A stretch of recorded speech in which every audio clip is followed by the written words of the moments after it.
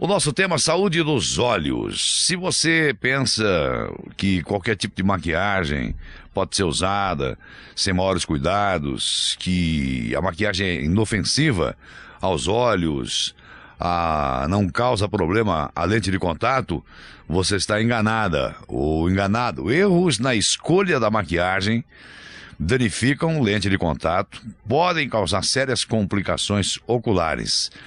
E principalmente nesse período que nós estamos vivendo de inverno, né? Porque tem essa estiagem aí. E a estiagem do inverno acaba acentuando ainda mais esse risco.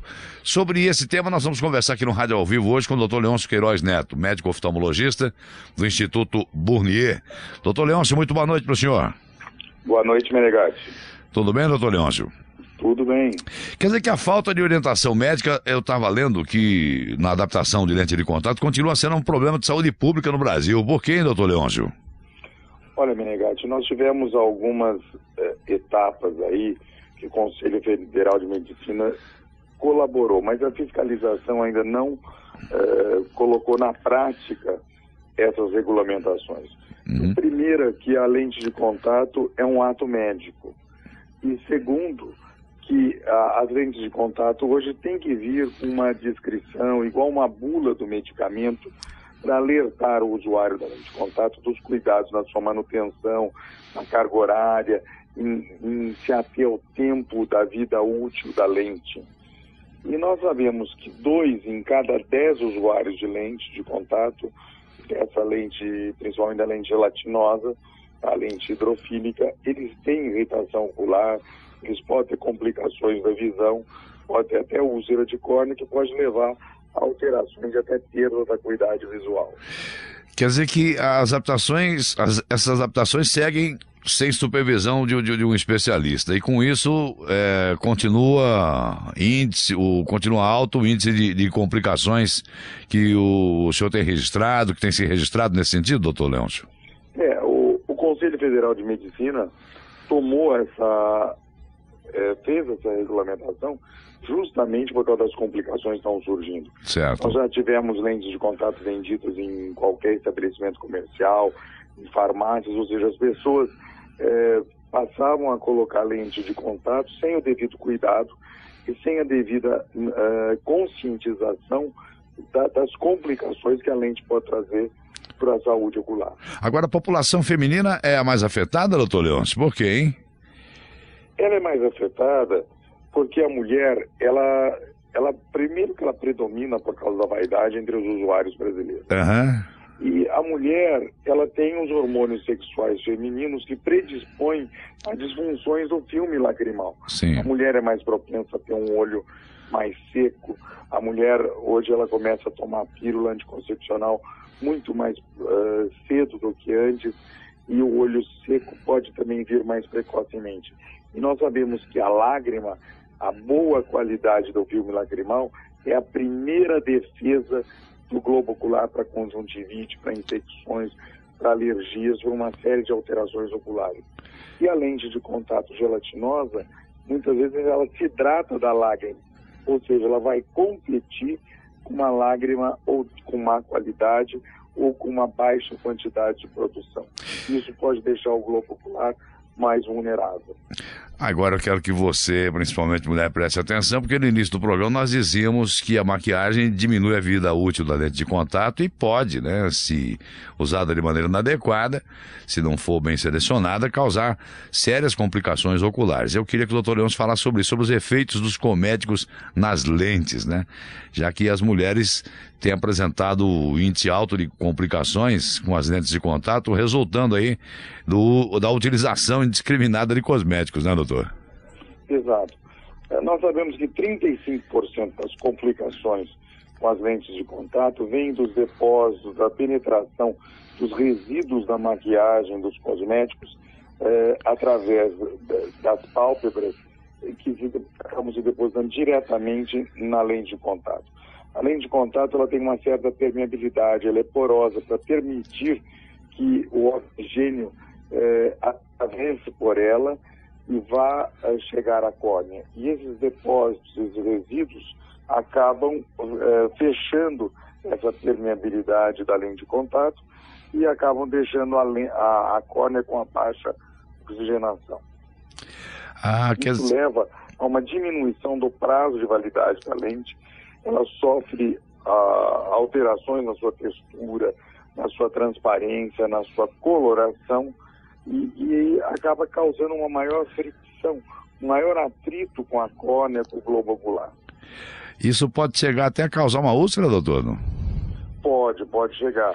Porque são resíduos que eles acabam formando depósitos uhum. é, e com isso ele quebra uh, o filme lacrimal. Sei. Ele atrapalha a estrutura da lágrima. Uhum. Quer dizer, é, é, realmente um perigo, né? E na, é, eu estava dizendo do, do, inverno, nós estamos em, em, pleno inverno e há, naturalmente, nesse período, uma estiagem, na é verdade. Isso acaba acentuando ainda mais o, o problema, doutor? Exato, porque uh, nessa época do ano, as mulheres que já têm uma propensão a ter um olho seco acabam tendo um olho mais seco e com isso uh, a usuária de lente de contato fica mais vulnerável. E um, um grande problema é que uh, as mulheres aplicam aquele lápis, o pretinho, na borda interna da pálpebra. Sim. Quando o correto seria usar na borda externa, ou seja, dos, dos cílios para fora, para que ela não tenha contato com o filme lacrimal e esse lápis não venha se depositar né, na lente de contato pela, a, pela camada aquosa da lágrima. Ah, tá certo. Bom, quer dizer que a gente poderia, então, aproveitando o doutor Leôncio, a, a sua gentileza em, em prestar essa, essa, em nos ajudar a prestar esse, esse serviço, né? É, tão importante para a saúde dos olhos, é, dar algumas dicas, algumas orientações com, com, relação a essa seleção de maquiagem aí, ao, ao, uso seguro. Pode ser, doutor? O que, que o senhor aconselharia principalmente? primeiramente, sempre lavar as mãos antes de colocar a lente. Certo. É, como já explicamos, evitar de colocar o lápis ou o rímel, como elas falam, na borda interna das pálpebras, e sim dos cílios na borda externa. Sei. É, evitar também aplicar esse rímel muito próximo à base, à raiz dos cílios, uhum. para que ele não tenha contato com o filme lagrimal. E aquele, esse, esse, esse rímel alongador, que é tão assim, é, tão procurado pelas mulheres, tão utilizado pelas mulheres, ele, ele pode causar problemas, doutor? Olha, esse, esses, uh, essas técnicas de alongamento de cílios, Sei. elas podem, é, num, num descuido de quando aplicadas, é, entrar em contato com a mucosa ocular e causar até queimaduras oculares pela própria química que possui essa substância alongadora. Ah, tá certo. Bom, um, continuar então com, com o uso seguro aí. Além de lavar bem as mãos, né? É, é, é preciso que, bom, se mantenha atento à validade das lentes e mesmo assim, independente da validade, está sempre consultando um, um, especialista no caso de alguma irritação qualquer, de algo anormal que apareça, né, doutor? Exato. A, a lente, ela deve ser colocada antes de aplicar a maquiagem Sei. e ser retirada antes de remover a maquiagem. Isso é importante, hein?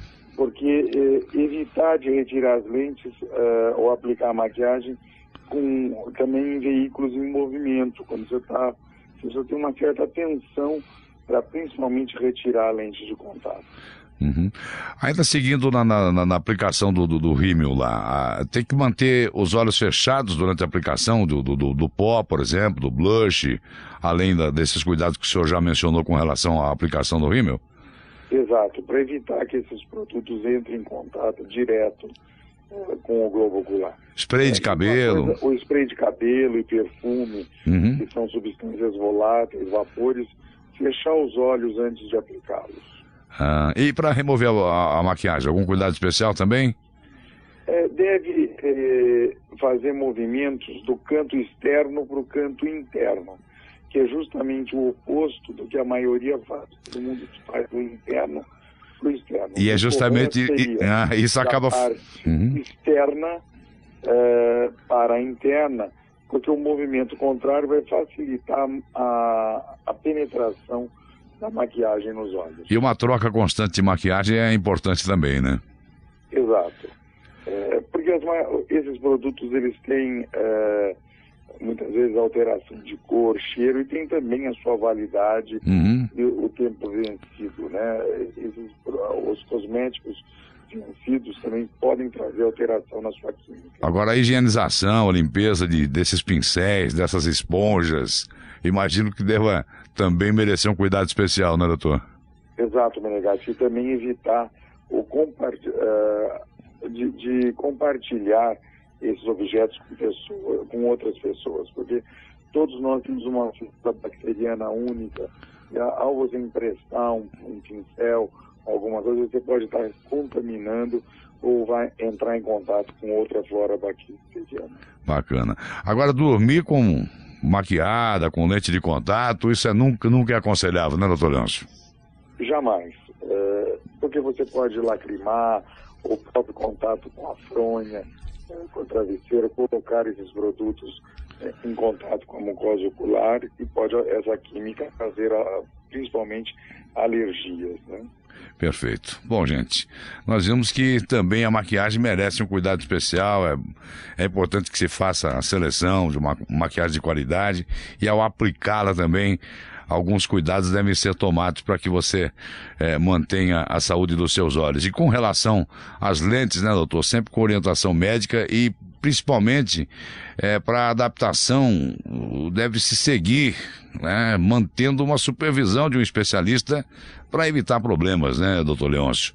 Afinal de contas, não é tão complicado assim, é, e é tão mais seguro, na verdade, com essa orientação, você utilizar a sua lente de contato, saber exatamente como fazer, como proceder, porque afinal de contas a visão é, se não tudo, quase tudo, né, doutor? Um, um dos órgãos dos sentidos, é o mais importante, né? 85% do nosso relacionamento com o meio ambiente é dado pela cuidade visual pelos olhos. Se tiver dúvida. Uhum.